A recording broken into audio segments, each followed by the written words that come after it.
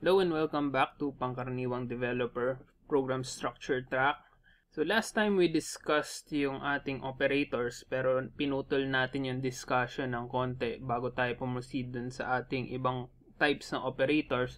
Kailangan natin muna i-discuss yung statements and expressions. So yung statement, yan yung uh, pinaka-simpleng standalone element dun sa ating uh, mga imperative programming language. Basically, sila yung mga linya-linya natin dun sa ating mga imperative programs. So, they can be simple one-line statements, gaya nito, yung guess number over 2, that's a single statement. Pati yung return guess, that's also a statement. So, yung dinadaanan natin yung mga code natin dun sa ating mga example, we're going through the programs statement by statement. In addition dito sa mga one-line statements na to, there are also compound statements. So, they're statements made up of multiple statements, pero they can be counted as a single statement kasi they have a single purpose.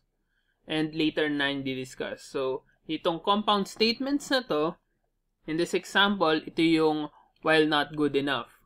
So that's a while statement. Again, later na natin i-discuss.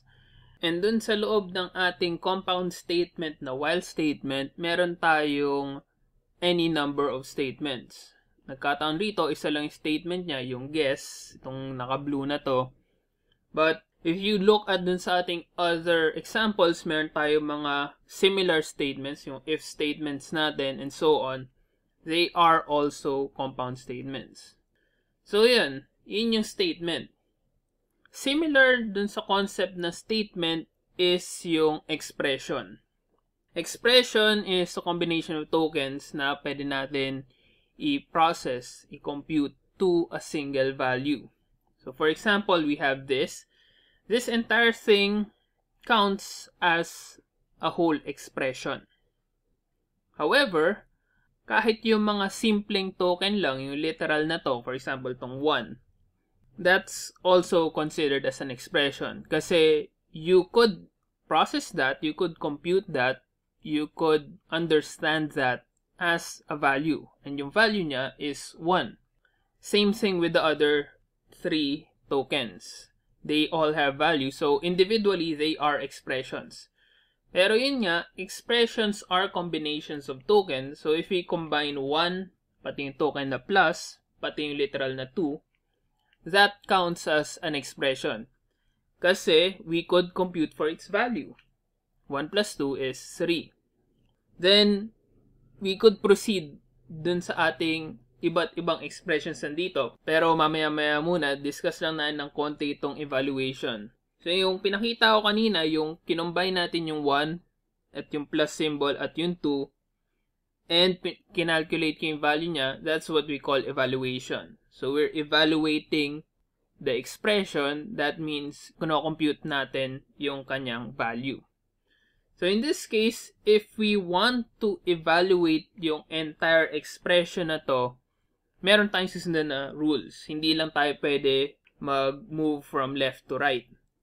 In this case, this is mathematics. So, we're going to follow yung tinuturo nga sa ating grade school students na yung PEMDAS. So, parenthesis, exponent, multiply, divide, add, and subtract. If we're going to evaluate this expression, umpisa tayo dun sa pinaka mataas. Yung mamaya masabi natin yung operator precedence, highest precedence, which is yung multiply. So, 3 times 4 ang una nating i-evaluate followed by yung the rest. So, yung next level dyan is yung addition and subtraction. So, susunod natin i-evaluate is yung 1 plus 2. Then, ko-combine na natin yung result ng 1 plus 2 at yung result ng 3 times 4 and susubtract na natin siya. So, that's how you evaluate yung expressions natin. You find the expressions within the expressions and you evaluate them according dun sa rules na provided sa'yo. In this case, yung rules of mathematics, which is yung PEMDAS natin. So, if you just evaluate it accordingly, 3 times 4 is 12, then yung 1 plus 2 is 3, then 3 minus 12, that's negative 9. So, that's how you evaluate yung ating unang expression which is yung 1 plus 2 minus 3 times 4. Yun yan, na-mention ko rin kanina, yung rules na fina-follow natin when we're evaluating an expression is what we call yung operator precedence. Operator precedence defines kung ano yung uunahin mong evaluate dun sa mga expressions na yun. So, ang una mong i-evaluate rito is stuff na nasa loob ng parenthesis, and susunod yung mga multiplication and division, then yung plus and minus. Later, we're going to discuss maraming operators ang makikita natin dito sa mga programming languages, even dito sa ating wala programming language. But let's take it one step at a time. Let's give another example. Sundan lang natin yung ating operator precedence. So, mauna rito is yung 20 minus 5 kasi nasa loob sila ng parenthesis. 15 siya, followed by exponent, wala naman tayong exponent dun sa list na pinakita kanina. So, next na, next na level ng precedence is yung multiply and divide. So, dito, meron tayong divide, which is yung 48 over 6, which is just 8. Then, finally, doon na tayo sa last level ng precedence natin, which is yung plus. So, 15 plus 8, that's 23. So, yun lang naman. Yun lang naman yung pag-evaluate ng expressions natin. Yun lang yung uh, basic concept sa kanya. And expressions, again, they're a combination of tokens, whether it's literals, whether it's yung ating operator symbols, na pwede mong i-evaluate to a single value. And so, we proceed dun sa isang uh, main question at natanong ng mga beginners is, ano yung difference ng statements and expressions? Yung statements nga natin, yan yung parang yung mga linya. And yung expressions, yan yung combination ng tokens you might think na wala silang difference. Except of course, yung expressions natin, pwede siyang maging smaller piece ng ating statements. Ang reality dyan is depende yan sa language. In some languages, iba ang statement sa expression. So, in some cases, may mga statements na pwede kang expressions and in some other cases, meron kang mga statements na hindi mo pwedeng tawagin expression kasi you can't evaluate them to a value. However, for our language, para hindi na kayo malito, all statements are also expressions sa ating wala programming language. So, sa lahat ng mga sample code na makikita mo rito sa computer science track, they're all expressions. They can be evaluated to a value. And kung hindi sila na-evaluate, so hindi obvious yung evaluation nila, they are instead evaluated to null.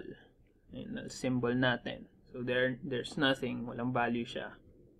But still, it's still a value. Yun nga lang, wala yung value. Anyway, yun lang naman. Just note na yung statements natin, yan yung parang linya-linya natin, except for certain statements na can contain multiple statements within them, depending on their behavior. And yung expressions natin, they're yung mga tokens natin na pwede mong evaluate pwede mong i-process. And kadalasan yung processing na yan is with our operators. Ang na-mention pa lang natin na operators ay yung mathematical operators. But for the next lesson, we're going to discuss yung ating Boolean operators. And the lessons after that, we're going to discuss even more operators. Yung mga operators naman na hindi ganun ka-obvious when you're not a programmer.